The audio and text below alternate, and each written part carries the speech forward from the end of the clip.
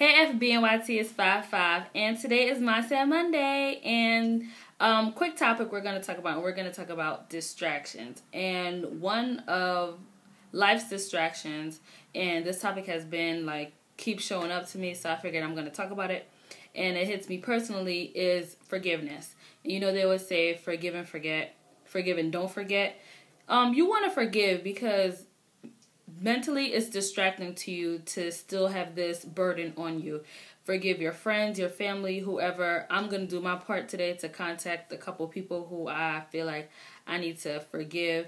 Uh or who I have forgiven, just let them know that I still love them, I still care about them, because really it's a hindrance towards you. It could be a hindrance towards you, and uh, not to get all spiritual, but a hindrance towards your blessing. You know, if you have not letting go of this traumatic issue or whatever that has happened, it's affecting you. It's affecting your studies. It's affecting your work habits. It's affecting everything. So you want to forgive. And I say you shouldn't forget because you don't want the same thing to happen again and you don't want to have to go through that detrimental process of, you know, healing and recovering all over again. But you do need to forgive because as human beings, we all make mistakes. We're all imperfect. So who are you to, you know, not you know, let this go of what this person did. And in our eyes, it could be big, it could be small, but we still have to forgive and we still have to love because love is still needed and it still needs to go around.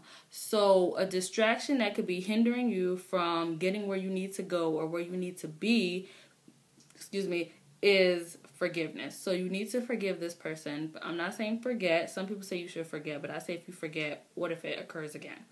and you don't want to be put in the same uncomfortable situation again. You know, first time, shame on you. Second time, shame on them. Is that how it goes? I think that's how it goes. Anyhow, that was my mindset Monday. So a distraction from your blessing could be forgiveness. Now, of course, it's not an easy process. It's not going to be in one day. Maybe you can't speak to them today. Maybe by the end of the week. But you know, try to contact them, you know, get in touch with them and just let them know, hey, you know, what you did really hurt me. I'm really upset and I'm not there yet, but I'm trying to learn to forgive you and to love you as a person, as a human being all over again. Um, real quick story. I went to church on Sunday morning and there was the story about these two brothers who haven't talked spoke in a long time. The father passed and two years passed, and then the brother decided to finally contact the other brother. And through contacting the other brother, you know, they reconciled, and the brother who who called the brother, he didn't have a job. And after calling his brother for two years, he got offered two jobs. Now, could you imagine that? He's been out of a job for two years.